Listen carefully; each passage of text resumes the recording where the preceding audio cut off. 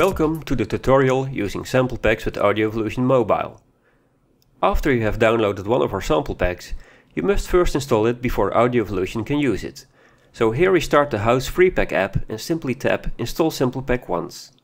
You will see that the app will start unpacking the samples and it will put them in the right directory so that Audio Evolution can find them. Please wait until it says unpacking finished and then exit the app by pressing the back button. So with the sample pack installed, it's time to start Audio Evolution Mobile.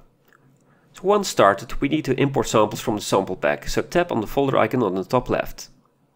You will see several options to import samples, but the most convenient one for us now is import sample from sample pack. Here you can see all sample packs that are installed and for this tutorial we will just choose the house pack. All the samples from this pack are listed here and we'll just select the drum sample to start with. In the dialog that follows you can change the tempo and pitch of the sample we just selected. Now the sample was recorded at 128 beats per minute, but if your project would be at 100 beats per minute for instance, the app could stretch the sample to match your project's tempo. Similarly, the samples key could be matched to the key your project is in. But note that making large pitch and tempo changes can introduce artifacts, so it's best not to make radical changes. For this demo we are just going to leave the tempo as is and import the drum sample right away. There it is, so let's listen to what it sounds like.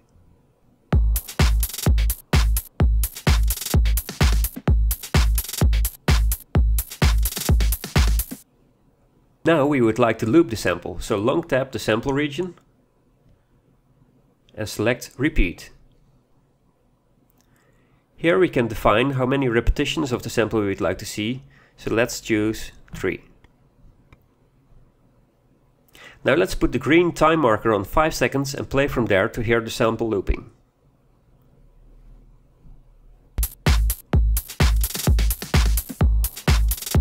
There, we have a perfect loop. Now let's get in some bass.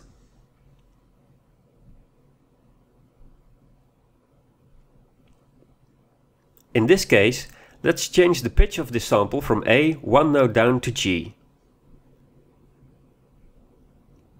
I need to choose the down button as well, otherwise the sample will get shifted up all the way to G in the next octave.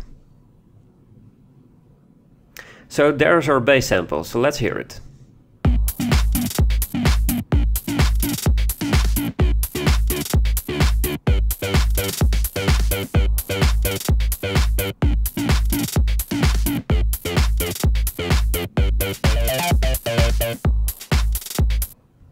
Now that sounds cool, so let's repeat the sample once.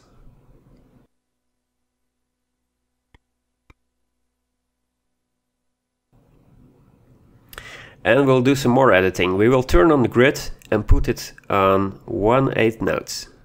We will select the edit tool and move the second sample partially on top of the first sample, all the way to the fifth bar.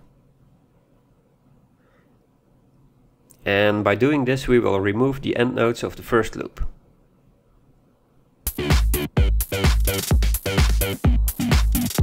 So now you can hear that the bass simply plays on.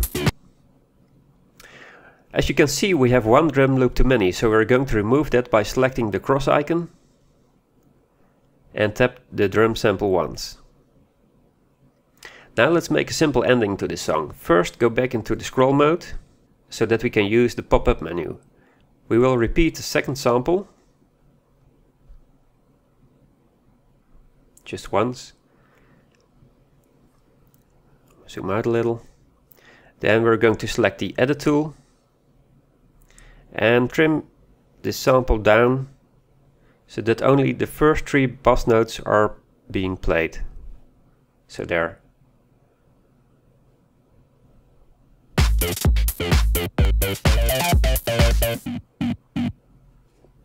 This is the end of our tutorial. Please try the free sample packs for Audio Evolution Mobile by Function Loops, which you can download from the Google Play Store. And if you like them, we have more loop packs as well just for a couple of euros.